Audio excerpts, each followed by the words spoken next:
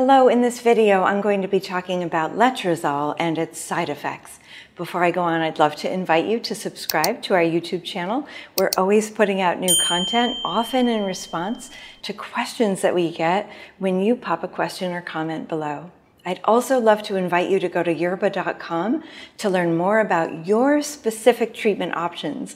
Your Yerbba report, once you give permission, will access your medical records, cross-reference those records with the latest medical evidence and give you both a report of what treatments you've had and what you might have yet to come and your treatment options, including the pros and cons of each.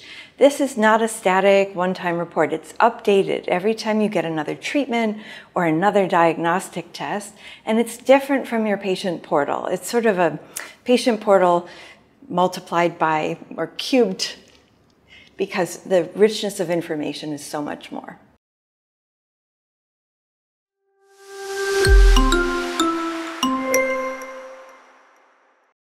What I'd like to talk about next is the most common side effects from letrozole. And I'm going to start with one that probably many of you have heard about, and that's joint and bone aches and pains. Now, aches and pains might sound mild, but in some people they can be very severe.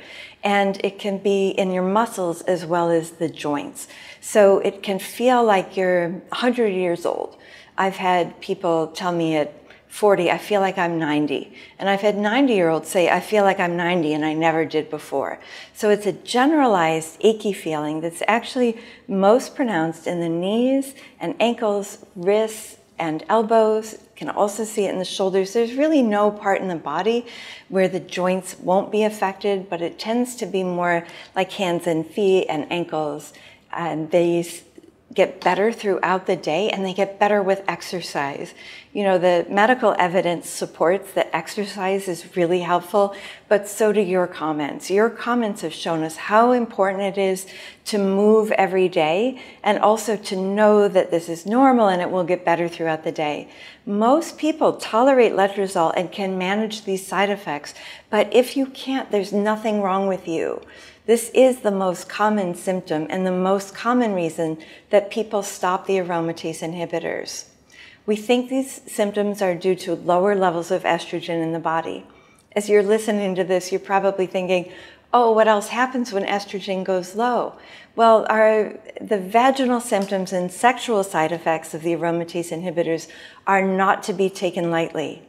These can be really life affecting and quality of life is really important. Your sexual health and your intimate life are very important. And even if you're not intimate with another person, having vaginal dryness or urinary incontinence because of thinning of the urethral mucosa is really upsetting. This is common enough that it's distressing and we hear about it. Your medical team will not be surprised to hear about any of these side effects.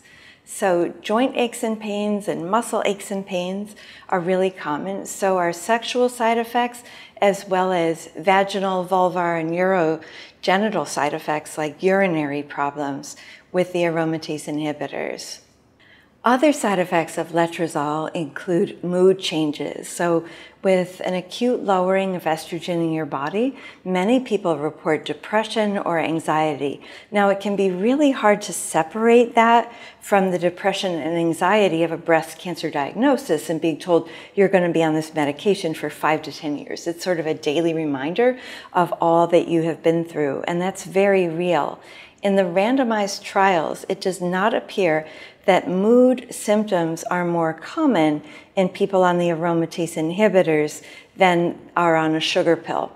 But it's really important to know that clinical trials include people who generally are as fit as a fiddle and they're not experiencing or at risk for depression those people with depression or other mood disorders tend not to go on clinical trials as often as people who are neurotypical, no history of anxiety or depression. So this is why there may be a disconnect between what we see on clinical trials and what we see in real life. The other thing is people on clinical trials may not be 100% forthcoming about their symptoms because they don't want to be taken off the trial. This is a phenomenon that's been well documented. So clinical trials can differ from your own experience, plus, you are your own unique person. And two other common side effects include night sweats or hot flashes. Those are really common, as you can imagine, because the estrogen in your body is lowered.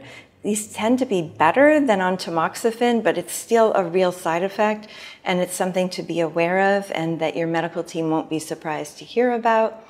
And then the other is fatigue. And it may be that night sweats and what we call vasomotor dysfunction, meaning your blood vessels are not functioning normally, they're dilating and constricting, can disrupt your sleep. So even if you don't wake up, with hot flashes or night sweats, your sleep can be disrupted, and that can lead to fatigue. But there may also be intrinsic effects of lowering estrogen on your energy levels. So, those are the most common side effects that we see. I want to turn now to some equally important but rarer side effects just because they're rare doesn't mean that you're not getting them from the medication. You know, one of the comments we see a lot is, This isn't rare, I had it. Rare doesn't mean you're not going to get it. Rare just means it's not something we tell everybody about because sometimes people look glazed. When they hear those more common side effects, they're kind of like, this is too much. And then we give them additional written information, or they, we expect the pharmacist to give them more information about less common side effects. So, hair thinning is a common one that many of you have written about. Estrogen, as you can imagine, and other hormones are responsible for keeping our hair the way it is. And we can have hair thinning when our estrogen is lowered. So that's important to know that, it, and to understand what it entails. It usually affects the front part of the hair, sort of what we think of as a male pattern baldness that we often think about. You can, you can notice it the most when your hair is wet and you're looking up at your hairline. And then as your hair dries or is styled, it might be not as noticeable. Tends not to be the entire head. If it is, you want to get evaluated for other causes, like in particular thyroid dysfunction, because that's actually more commonly going to lead to major problems with your hair that you're going to be acutely aware of because you're on a new medication. So, hair thinning is more common, much more common than hair loss, and it's important to rule out other causes. Digestive issues are seen with the aromatase inhibitors. It probably has something to do with the levels of estrogen. You know, our gut is actually has a lot of hormone receptors and changing hormone levels as well as stress and sleep problems, fatigue, change in activity can affect our GI tract. So people can have diarrhea that they never had before or they can have constipation, so irregularities and gas. We can see that also in people on the aromatase inhibitors. Again, it's not one of the, you know, we see this in 30% or 20 to 30% of people. It's fewer than 5%, but when it's happening to you, it's 100%. Another thing we can see that's a little different from the muscle aches and pains are muscle cramps. So we see this anytime we give an anti-estrogen. We see it more with tamoxifen where people get leg cramps, especially at bedtime. And muscle cramps can be really upsetting. They can wake you in the middle of the night or keep you from falling asleep. Some gentle stretching or a bath or shower at bedtime can be really helpful. Or frankly, anytime throughout the day, stretching is really useful and developing a stretching habit may be a lifesaver for you in terms of dealing with those muscle, muscle cramps. And the last rare side effect I want to cover today are changes in vision.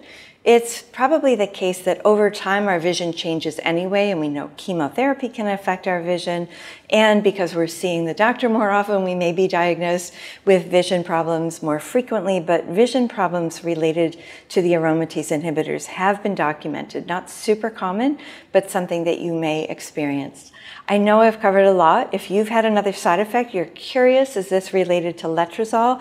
Or if you're on a different aromatase inhibitor and want to know, could this happen with one of the other two aromatase inhibitors? Drop a comment or a question below. We get back to you as soon as we can.